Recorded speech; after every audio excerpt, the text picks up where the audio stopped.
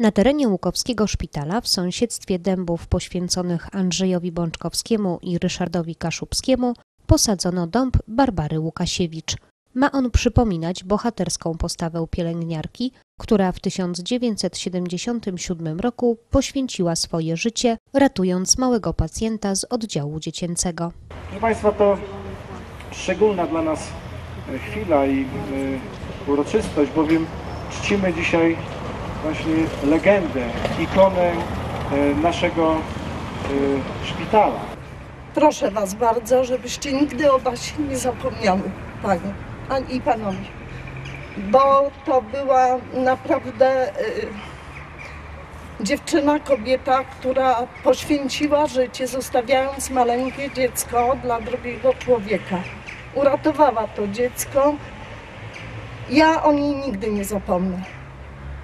Ciesz Andrzej się, że stało się to, co się stało, że jesteśmy tu dzisiaj, że dziękuję bardzo wszystkim, którzy przyczynili się do y, tej uroczystości dzisiaj. Chciałam powiedzieć, że byliśmy dzisiaj u Basi na cmentarzu, zapaliłyśmy znicze, pomodliłyśmy się i o modlitwę proszę. Uroczystość zasadzenia dębów wpisała się w cykl wydarzeń upamiętniających postać Barbary Łukasiewicz.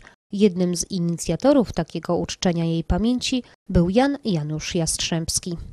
Na dzień dzisiejszy ona już powinna być w poczcie świętych, dlatego że lekarka włoska, która oddała życie, bo miała problem, czy urodzić dziecko, czy umrzeć, miała czas do namysłu.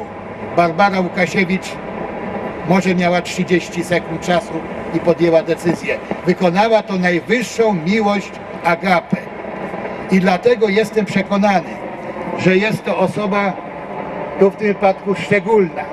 Pamięci Barbary Łukasiewicz, zapomnianej bohaterki miasta Łukowa. Czy ma bohatera miasto Łuków Stare? Pytanie to stawiam, odpowiedzi czekam. Jeden oddał życie lub cierpiał za wiarę, drugi stracił życie ratując człowieka. Wielu pretendentów jest do tego miana, więc i trudna tutaj wyboru jest miara. Miał Łuków w historii osobę oddaną, skromną pielęgniarkę Łukasiewicz Barbarę. Ratowała dziecko ponad ludzką siłą, wyraziła miłość Agapę najwyższą.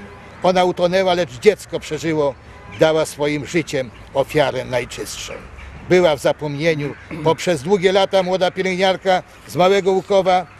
Czyn był to nadludzki, lecz żadnej zapłaty, a godne jej imię, by go uszanować. Gdyż siostra Barbara był to wielki człowiek. Kolejnym wydarzeniem upamiętniającym Barbarę Łukasiewicz będzie koncert dziecięcego zespołu tanecznego z Ukrainy, który odbędzie się 17 listopada w auli pierwszego LO imienia Tadeusza Kościuszki. Kolejną okazją do uczczenia pamięci Barbary Łukasiewicz był koncert, na którym wystąpił dziecięcy zespół taneczny z Ukrainy Kwieciste Gwiazdy.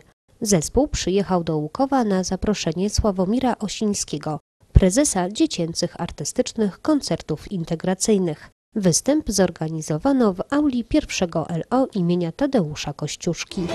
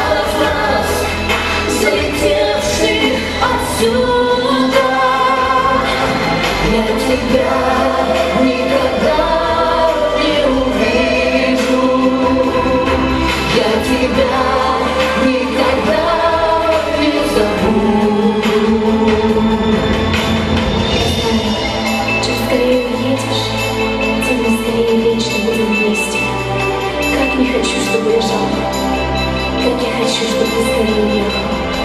Мне кажется,